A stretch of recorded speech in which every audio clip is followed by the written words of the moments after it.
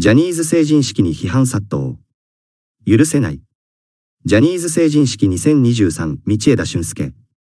今年度に20歳を迎えた何は男子の道枝俊介、20や長尾健と、20らジャニーズ事務所所属タレント11人が10日、東京赤坂氷川神社で成人式を開催した。2006年以降は休止していた成人式だが、セクシーゾーン菊池風磨の発案により、17年ぶりに開催。発案した菊池は、僕自身、こういった形での成人式は経験していなくて。憧れを抱いていましたし、ぜひこういう機会があればなと発案させていただきました。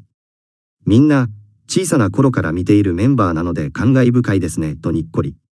菊池と国分太一と共に立ち会い人として出席したジャニーズアイランド社長も務める井ノ原義彦も、晴れの日に立ち会えたことが幸せ。17年間成人式をしていなかったものですから。僕も経験していなくて、次は立ち会い人かなと思ったら一歩前に終わってしまって。念願の立ち会い人ができましたとコメントした。